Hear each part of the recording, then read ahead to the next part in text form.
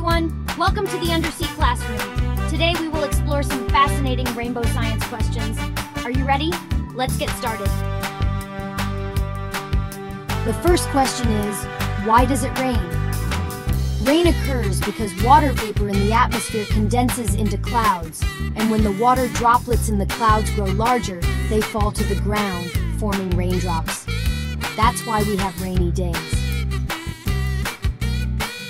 Alright, now let's delve into why rainbows typically appear after rain. Rainbows are formed through the refraction and reflection of sunlight as it passes through raindrops. Raindrops from the recent rain remain suspended in the air, creating the conditions for rainbows. Next, we'll explain why there are rainbows. Rainbows are created because raindrops disperse sunlight, separating the different colors of sunlight and forming the beautiful arched rainbow.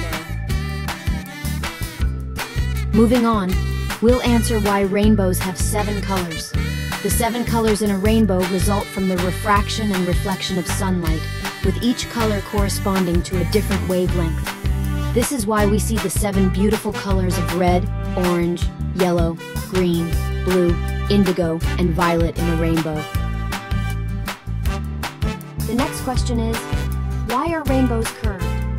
Rainbows appear in a curved shape because when raindrops form the rainbow in the sky, the light is refracted and then reflected, creating the arc shape of the rainbow.